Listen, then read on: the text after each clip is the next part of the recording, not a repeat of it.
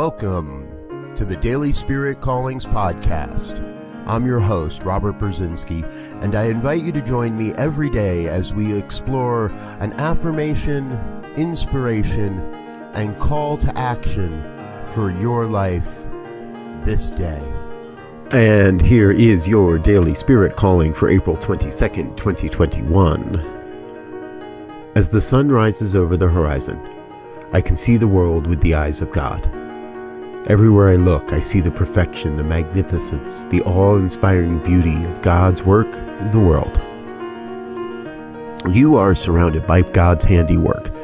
Everywhere your eyes land, you are seeing God's imagination creating an environment of love and light. Bask in the beauty of this day. Revel in the magnificence of your life. Today, you are called to radiate a vibration of love for everything you encounter Love radically. Love vibrantly. Love like never before.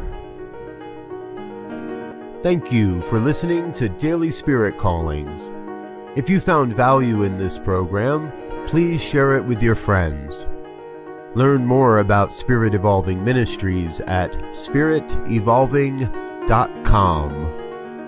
Until next time, peace and blessings. Go forth and prosper.